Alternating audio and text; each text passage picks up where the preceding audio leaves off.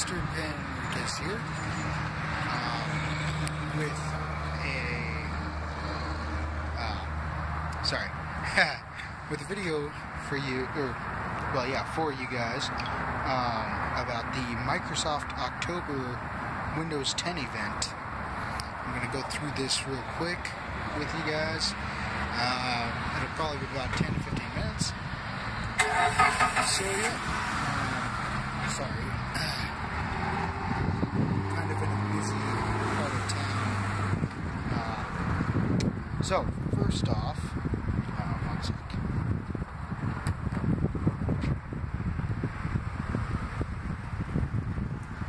Okay, maybe that'll work. Okay, first off, uh, is HoloLens. Um, this is the new augmented reality headgear that Microsoft uh, is coming out with. Um, it was pretty pretty fascinating, actually. Um, was, you know, they had a, a special camera that could see the uh, the holograms, the not really holograms, the you know what was going on in his kind of AR lens thing, but it basically it's a it's a, like a it's like a little visor, you know, it's got dual HD um, see-through screens on it, and it's got a bunch of sensors in the headgear and stuff like that, and it'll like read your position and your body's position and uh, what's going on around the room, stuff like that. It's pretty cool, and it'll calculate, you know, where your couch is or your walls are, or whatever, you know, and so everything will interact with the stuff around you instead of being in a virtual world. You're in the, the same world, but there's, you know, other things that'll pop up, would be great for like for instance, if you're an architect, you know, and instead of having to build a 3D model uh, physically right there, that'll take you hours and hours, you know, to do, and you know, you may like that, which is fine, but it's quicker to be able to like, you know, just be able to kind of like draw with your finger or something like that, you know, and just have it up on your, you know, you could go into a board meeting and have a bunch of these where all the board members have this, you know, these lenses on it. It'd be fascinating to be able to do, and then you'd you'd have the you wouldn't even have to have like paper for reports. You could just like boop boop, you know, be kind of cool. Anyway, it was pretty fascinating stuff there. Um, it's a completely separated computer, so the chips and everything are inside the head gear. Um, visor, and that means that you don't have to be tethered to a computer or a phone or anything like that. Unlike, you know, v, uh, most VR and AR. Ah, sorry. Right now, you know, so pretty good. Their development kit uh, will cost thousand dollars for that, um, and I think it'll probably definitely come with a Hololens, you know, along with the SDKs, you know, for it. But anyway, so that's HoloLens for you. Um, they're putting out a new Microsoft Band. It's got curved OLED display, um, GPS, UV guided workouts, sleep tracking, calorie tracking, smart notifications, Cortana, uh, barometer. It can even measure your VO2 max, so volume of oxygen. You know, your maximum volume of oxygen. Uh, you know that you could take in and whatnot, uh, which is pretty nice for the fact that usually those tests are pretty crazy. Um, course, I don't know how accurate it really is, but it might be pretty accurate. I don't know. You know, it can. If the if the uh, uh, UV lights in the bottom can go through and measure the oxygen content in your blood, then it would be pretty accurate. Um, I'm not sure. Anyway, it'll retail for $249. That's the new Microsoft Band. Um, and it does a lot of other things too, like uh, you can measure your golf swing and blah blah blah stuff like that. So for you, uh, you know, heavy exercise people. Okay, and they announced, of course, the Microsoft Lumia 950 and 950 XL, not Nokia Lumia, um, because that branch of Nokia is no longer there at all. Um, of course, Microsoft bought, them, bought that branch out quite a while back, uh, but they were able to keep the Nokia name for a while. Now they can't. So, anyway, um, which is what it is, I guess. Um, so the the the Lumia um, 950 and 950 XL have ad- adapted antenna technology. Basically, it has two antennas, and it'll figure out which one works the best for that time. Kind of like how the iPhone 4S and I think the 4 even had it that way. But anyway, um, so yeah, it's not really new, uh, in my opinion. I, it might work better than, you know, than that and even other phones that have had that in the past. But yeah. Anyway, it has an octa-core, so eight cores. Uh, 950XL does. The hexa-core one goes into 950, the regular, which is kind of strange to me. You'd think that the bigger one would have it. Strange. Anyway, they're from Qualcomm, obviously, which means the hexa-core one's probably the 810. I don't know if the 808 is a hexa-core, but you know, it, they're in the 800s probably. Um, it's got liquid cooling technology that they use in the Surface, which is interesting to me. Um, because remember, they're going to want this to be uh, your phone that you can plug into a monitor and it'll be your computer. So, uh, con- continuity. Uh, no, continuity. What the heck is it called? Continuum. There we go. Anyway, I don't know. Um, 5.2 inch and 5.7 inch OLED screens with 564 and 518 ppi. Uh, one sec, I'm getting a call. Strange. Uh, one sec. Pause. Okay. Stupid things. Um. Alright, so, where was I? Blah, blah, blah, blah, blah. Ugh. 564 and 518 ppi, respectively, for both of them.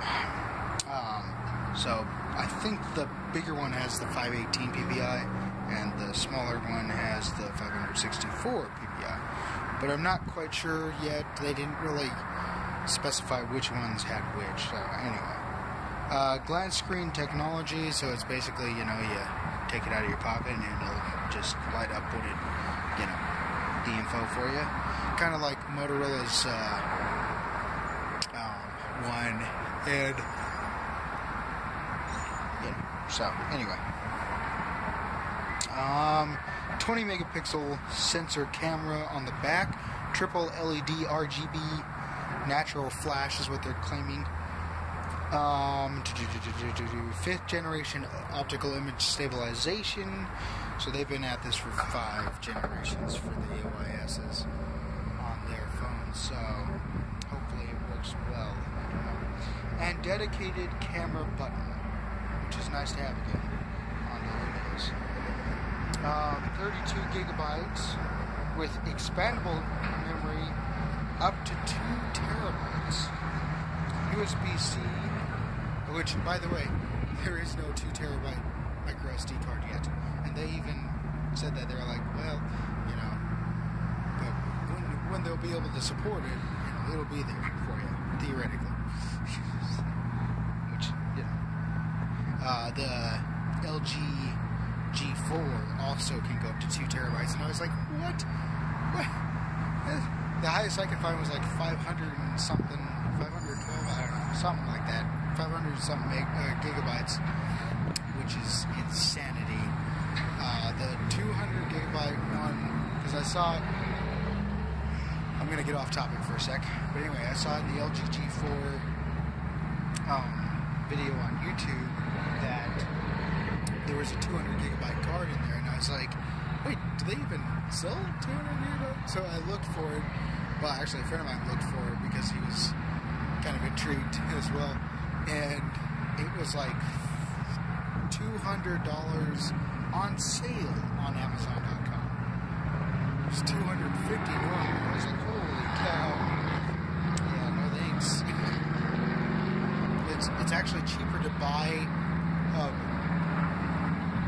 there's I got a 32 gigabyte card on sale at Walmart, like 18 bucks or something like that. It's cheaper to buy several of those to be able to get up to 200 gigabytes than it is to buy a 200 gigabyte card. Plus, most phones only go up to 32 or 64 gigabyte cards, so you might as well just get multiple ones of that.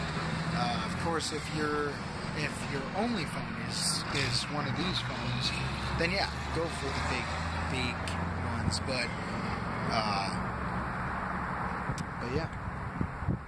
Anyway, um, USB C for up to five gigabits, not gigabytes, but gigabits per second. Uh, download speeds and upload speeds, like to a computer. Um, it'll charge the phone in less than 30 minutes to 50%, which is pretty darn fast. Uh, Windows Hello, which is basically like you can, you know, it'll, it'll look for your face and everything and tell it's you, whatnot, front facing camera. Which, uh, excuse me, by the way, they, I don't even know if they really said what their front facing camera megapixels were, but anyway. Um, so the 950 is $549 and the 950 XL is $649. So both of them 32 gigabytes. Lumia 550 they didn't say much. They said it was a quad core processor. It's going to be $139. Uh, it might have a 720p screen. I don't know. But uh, they didn't really say too much about it. So, know, like, this is, if you just want to kind of just come right in. Yeah, anyway. Uh, Microsoft Display Dock has HDMI and DisplayPort. Uh, you know, respectively. There's two different things. Uh, three USB ports on there, so. And.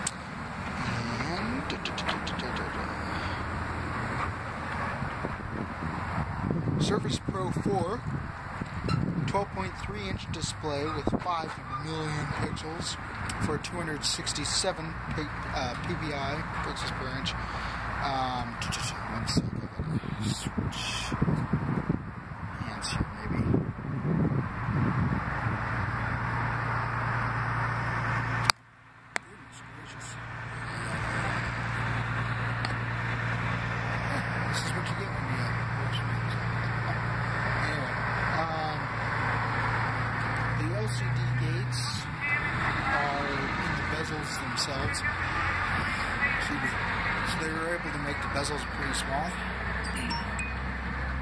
Um, Pixel Sense is what they're calling the whole display experience. So basically, it's going to have the touch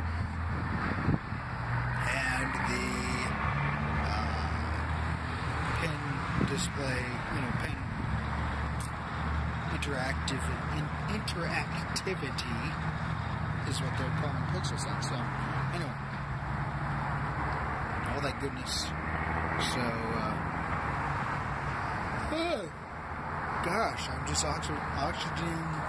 Mm, oxygen deprived right now, I guess. So, 0.4 millimeter Gorilla Glass 4 on the on the uh, screen. It's photo aligned, negative LC uh, crystal oxide display. Um, uh, 1.1 millimeter backlit unit. They're claiming this is the the uh, thinnest display you can make right now. So, pen and touch G5 chip uh, chipset. It's a custom uh, custom chip uh, designed by Microsoft. I don't know if it's actually made by them, but you know, it's at least at least designed. 16 gigabyte DDR4 RAM uh, and one terabyte of storage. So that's that's pretty crazy good. Uh, one terabyte of storage. Plus, of course, you know you're going to have the SD card slot, the USB 3. Um, Core i7 Intel processor. They're saying this is the thinnest Core i7 uh, computer to date. This and the, I think this one, the, the uh, uh, Surface Pro, which I'll get to. I think they're not, it's not the thinnest one. Only because of the keyboard.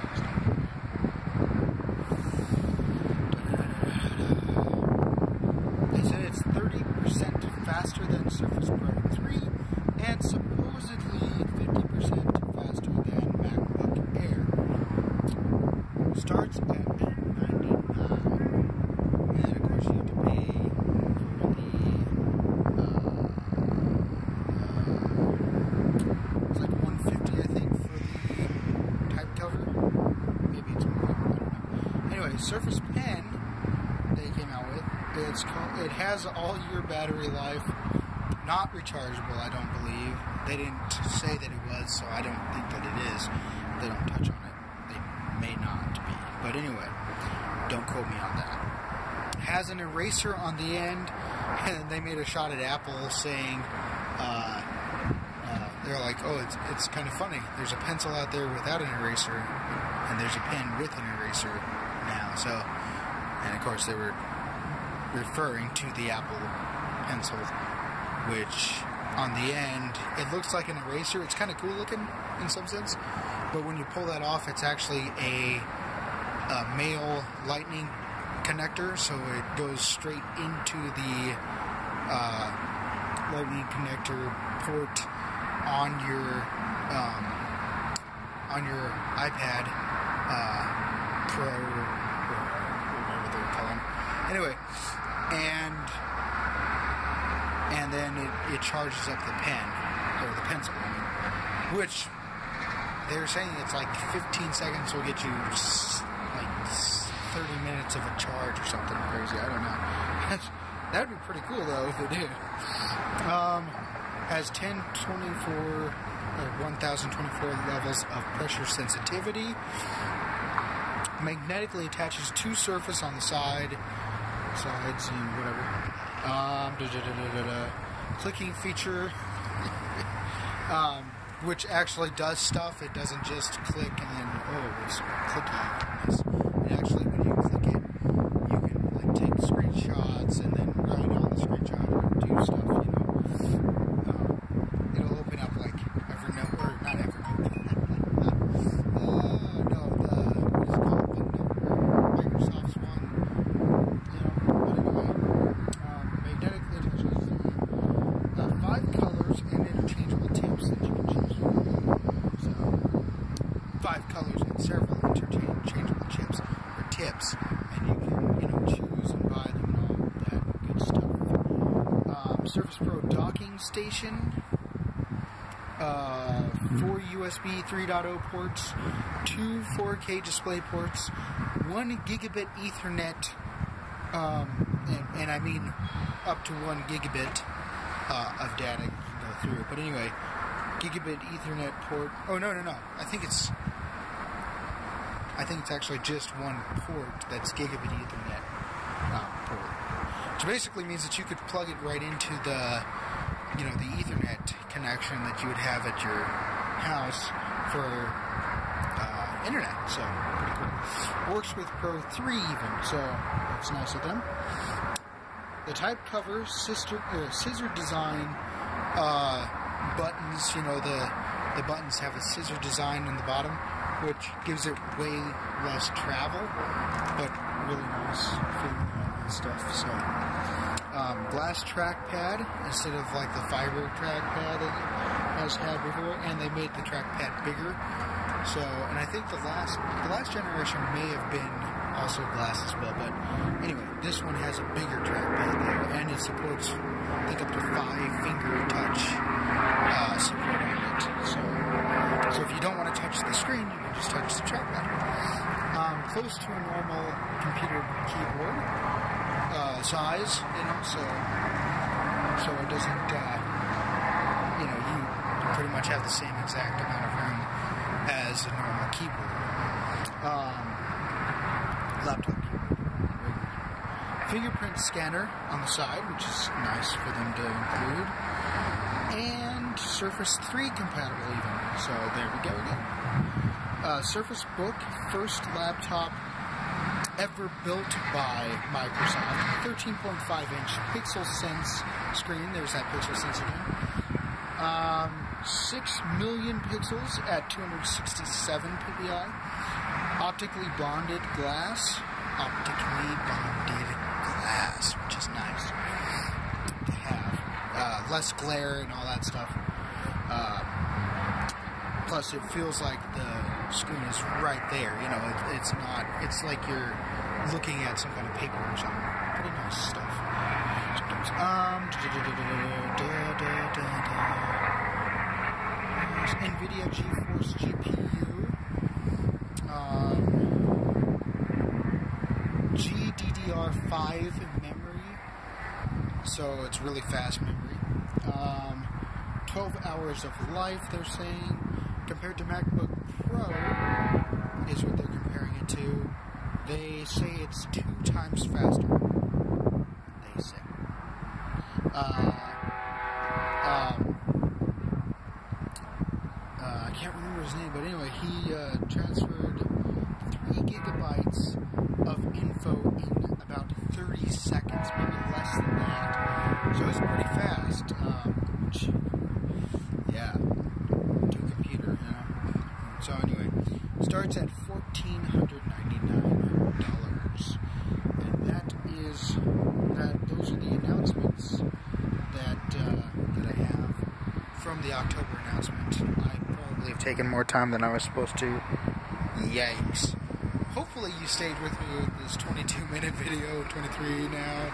Um, anyway, um, remember that if you become a patron, if you don't, or if you, uh, if you become a patron, you know, you can pledge even a dollar, you know, whatever. But if you pledge $10 and I get a certain amount of patrons, uh, I will be doing, starting to do giveaways for the devices that I get, you know, if you're interested in some of them. Um, also, you know, you're going to get all the other benefits that I've already talked about before if you watch me. But anyway, thank you for watching, liking, commenting, subscribing, uh, sharing my videos, and becoming a patron. And the patron link will be in the description below. So I will talk to you guys in the next one.